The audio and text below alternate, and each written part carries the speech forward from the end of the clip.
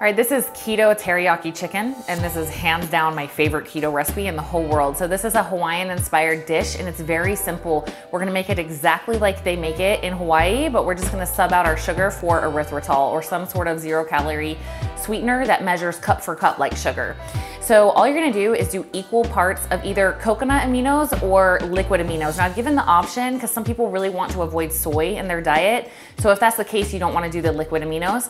Um, you can do the coconut aminos, just be aware that they have a lot more carbs, whereas the liquid aminos have none. So you're just gonna wanna do equal part aminos, water, and erythritol. And then you're gonna add some fresh ginger roots. That's just, you can either chop it and slice it or you can grate it. It's just to flavor that liquid mixture. And then we're gonna put some green onions in as well. You're gonna marinate that overnight. Marinating it for a long time is key to get the full flavor. You want that to soak all the way through your chicken thighs. And then once they've marinated, we're gonna grill them to perfection and they are so sweet and delicious. For this recipe, we're gonna top it off with some avocado and some salt. It's keto and it is so, so good. I hope you guys enjoy this one.